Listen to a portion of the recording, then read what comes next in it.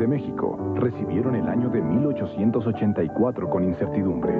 Las monedas y los billetes con los que compraban su pan, sus frutas, sus viandas, sus telas, solo eran recibidos a la mitad de su valor. Casi nadie pudo hacer sus piñatas ni preparar la colación para celebrar las posadas de la Navidad de 1883. La leña y el carbón escaseaban. El trazo de nuevos caminos se había detenido. Ante la falsificación de las monedas de níquel, la plata era de nuevo el patrón del intercambio. La confianza era un valor que se alejaba de nuestro país.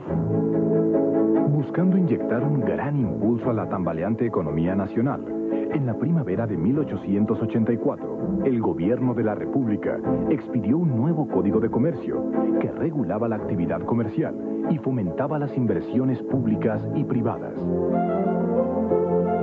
Inteligencia empresarial y la voluntad negociadora de un grupo de mexicanos comprendió la urgencia de la situación y decidió fundar la raíz del sistema bancario nacional. Así nació, el 2 de junio de 1884, el Banco Nacional de México, como una institución fuertemente capitalizada que infundió confianza en México.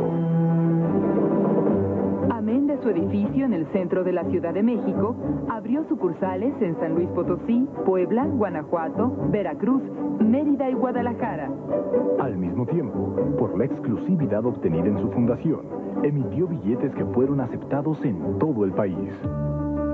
Desde 1884, Banamex ha sido un puente hacia la confianza. Desde su fundación, Banamex hace historia.